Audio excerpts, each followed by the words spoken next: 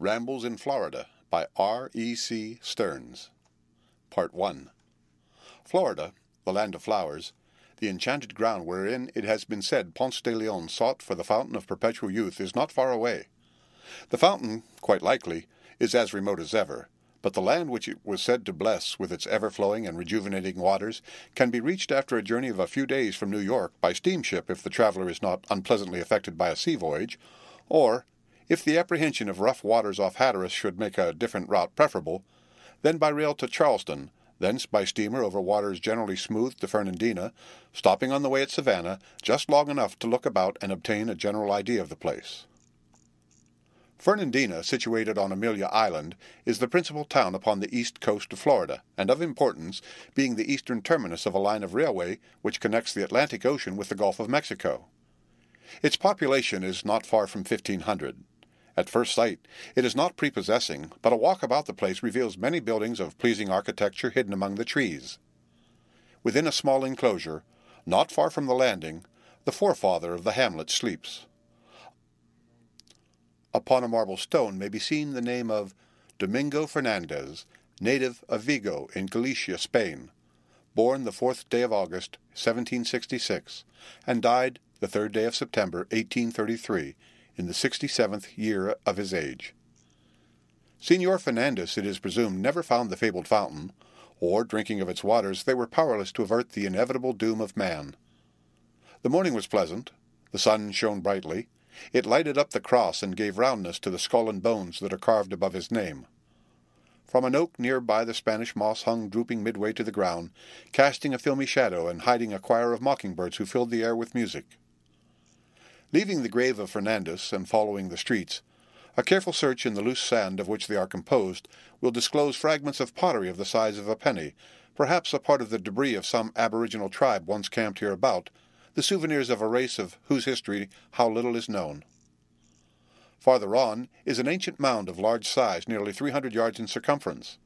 Undisturbed ten years ago, its surface was as the builders left it but its slopes and summit were so changed through the military purposes for which it was used during the recent Civil War that its original proportions are destroyed and its former outline obliterated. About a mile from the town towards the ocean is the lighthouse, built upon somewhat elevated ground, forming with the adjacent buildings and moss-festooned oaks a bit of highly picturesque and pleasing scenery.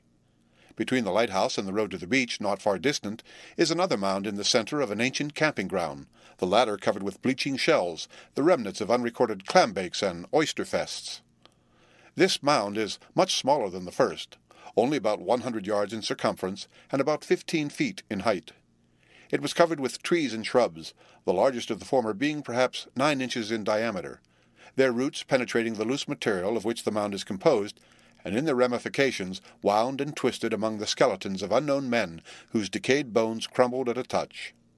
Stone implements were found, and in the surrounding field fragments of earthenware less perishable than the hands that made them.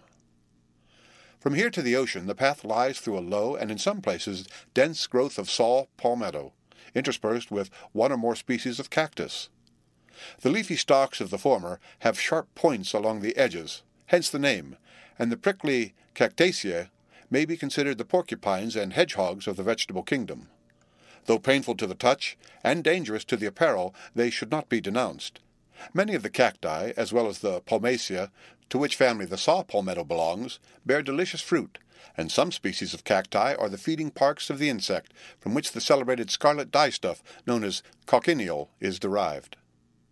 Without enlarging upon the merits of the palms and cacti, which would require a volume, we will consider the species we have encountered as unworthy representatives of noble families and proceed upon our way. It is hard work for either man or beast, toiling through shifting sands, but pressing on, we soon achieve the summit of the mimic mountain range, which the wind and sea always pile up on the landward side of the shore. Descending the slope, we are face to face with old ocean, whose majesty, whether in storm or calm, is ever impressive. The sea is smooth, the surf beats gently on the beach. We pause awhile to admire the glories of sky and water, to ponder upon the mysteries of life and form that dwell within the broad blue bosom of the deep, to peer into the hazy beauty of the atmosphere which hangs like a curtain at the remote horizon, implying hidden and greater beauty beyond, to note the distant sails of coming or departing ships, or watch the gulls riding upon the ripples like tiny shallops at anchor, to recall how in the north the wintry winds nipped us on New Year's Day only a week or two ago, and how bland and genial are the breezes here, to behold at our feet, as we follow the more recent drift rows, the rejected treasure which the sea has cast aside, forms different from any that we have elsewhere found, and each curious in its way. There are but a few seaweeds, algae, on the beach, and not many species of shells. Of some of the species, however, many individuals can be obtained. Here are numerous specimens of the fan mussels, pinna. What is written of the lilies of the field, they toil not, neither do they spin, does not apply to them, for these submarine weavers spin a byssus, or beard, by which they attach themselves to the bottom of the sea. The byssus serves as a mooring cable, and its fibers are tubular, like human hair. When fresh and flexible, gloves and stockings can be woven from it, and at Taranto it is manufactured into articles of wear. According to Varani, the byssus is a successful remedy for the earache, but he does not say in what manner it is applied. Pinna rudis, an English species, is sometimes eaten, and Henry and Arthur Adams also mention that some species are used for food. A dead fish half eaten by the birds is not an attractive object. It is in an unsavory state, but doubtless its scales would, under a microscope, astonish us with many lines of beauty.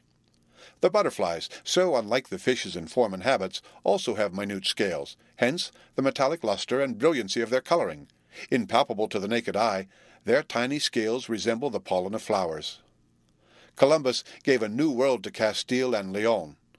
But think of the world of enchantment, of the precious treasures that the microscope has opened to all. A thin slice cut from a spine of the sea urchin, Echinus, that we have just picked up, if magnified, would furnish a partial insight to the wonders of its plan of structure. We find the oblong pouch-like egg cases of a species of skate, Raia, quite common. The texture and color of these pouches are such that a person not knowing would sooner suppose that in some way they rather belonged to the seaweeds, perhaps the pod of a species of alga, than pertaining to the fishes. If we were strolling along the shores of California or Europe, we should meet with the same queer forms. In England, the people call them pixie purses, fairy purses, and so forth. A species of dogfish, Scyllium, makes a similar purse-like egg case with long strings at the corners.